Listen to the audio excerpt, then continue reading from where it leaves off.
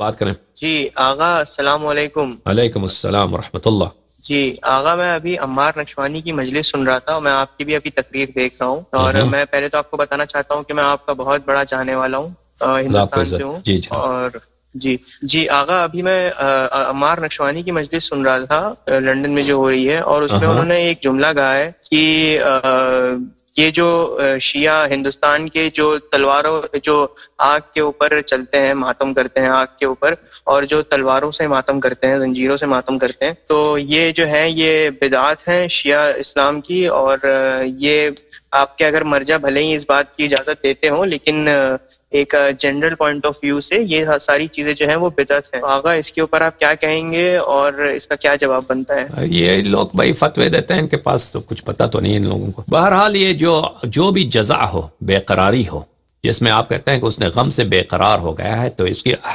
इसकी बहुत सिफारिश है। अहल बैत के अहादीस में, रिवायात में आज भी मैंने हदीस पढ़ी है, बेकरार होने को अहल बैत के गम में बेकरार हो जाए। ठीक है ना? इंसान, अगर आप गम में बेकरार हो गए और बेकरार होते हुए सर पे तमाचा मार दिया, सर पे आपने सर पे आपने मसलन कोई गड़ा मार दिया, सर पे तलवार मार दिया, जंजीर मार दी, पीठ पर खून बह गया तो इसमें कोई हरज नहीं। वाह।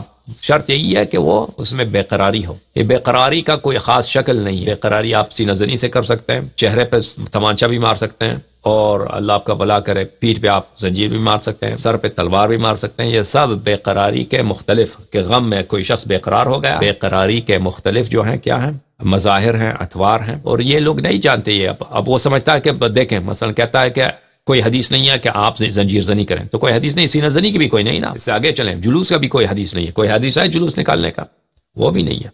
कोई कोई, इसका भी नहीं है सीना जनी का भी नहीं है, जुलूस निकालने का भी नहीं है। तो आप लोग ये क्यों करते हो? क्योंकि हम इसलिए करते हैं कि ये जो है इज्तमाही तौर पर अहल बैत ने हुक्म दिया कि तुम जजा करो और जजा को ज़ाहिर करो।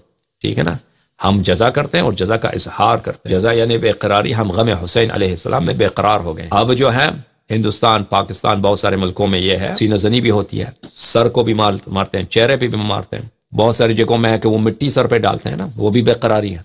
और और कमा जनी होती है या जंजीर जनी होती है। तो ये ये ये सब एक आम इनवान है, जजा के इनवान।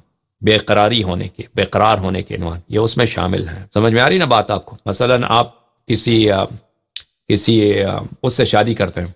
इंडियन वुमन से शादी करते हैं। इंडियन वुमन से कोई इंडियन वुमन कोई हदीस है? कि आप इंडियन वुमन से शादी कर सकते हैं? कोई हदीस नहीं है भाई। कि आप हिंदुस्तानी औरत से शादी कर सकते हैं? तो कोई मोमिन जाके हिंदुस्तानी औरत से शादी करे तो क्या ये बिदात है? क्योंकि हदीस में नहीं है सुन्नत में नहीं है। सुन्नत में तो सिर्फ़ यही है कि अरब से या किसी आज़म से उससे शादी करे या रूमी से शादी करे ठीक है ना? उसमें हिंदुस्तानी से तो नहीं है। तो कैसे जायज़ है? क्योंकि एक आम इनवान है अगर मोमिन है मोमिना है तो शादी जायज़ है। ठीक है? इस आम इनवान में आ जाता है। तो इसी तरह ठीक है हदीस में सीना जनी नहीं है सीना जनी नहीं है। लेकिन हदीस में ये तो है कि जजा हो। इंसान बेकरार हो हम गम में बेकरार होकर सीना मारते हैं चेहरे मारते हैं जंजीर मारते हैं। तो ये लोग जो बेदात कहते हैं इनको कुछ नहीं मालूम ये ये बेचारे इनको ये उसी ये कि खुद ये खुद ये कहते हैं कि हम मुकलद हैं। मुकलद आप किस लिए हैं? कहते हैं इसलिए कि हम हदीस नहीं समझ आती मुश्तद से पूछते हैं। तो ये खुद जब तुम इतने बेवकूफ़ हो कि तुम्हारे यही एतराफ यही है कि तुम मुकलद हो तो तुम्हें किसने बोला कि तुम मेंबर पे चढ़ के तकरीर करो ना? जब हदीस ही नहीं समझ आती तक, तकरीर इसीलिए करते हो ना कि हदीस नहीं समझ आती। अहल बैत अलैहिस्सलाम की बात नहीं समझ आती। तो मेंबर पे क्यों चढ़े हो? तुम निकल जाओ उतर जाओ अपने मुश्तहिद को ला दो। बात समझ आई बात आपको? हिंदुस्तान? बिल्कुल। गलत कह रहे हैं या सही कह रहा हूँ? बिल्कुल सही कह रहे हैं बिल्कुल तो उनसे उनसे आप अगली दफ़ा आप कह देना कि जुलूस जो निकलता है ये भी बताता है फिर तो सीना जनी भी बताता है इसकी भी कोई हदीस नहीं है। ठीक है ना? उनसे कह दो कि हाँ उनसे कह दो कि लंदन में मजलिस पढ़ना ये भी बताता है क्योंकि ये कोई हदीस में नहीं कि लंदन में आप मजलिस पढ़ सकते ठीक है ना? कोई हदीस है भाई? कि लंदन में बैठ कर आप मजलिस पढ़ सकते है, है कोई हदीस? कोई हदीस नहीं नहीं, नहीं, ये नहीं, भी बताते यहाँ ये कोई हदीस ये सब बताते इंटरनेट पे आप अपनी हदीस नशर करते हो ये भी बताते सब बताते या अली मदद बहुत मेहरबानी आपकी।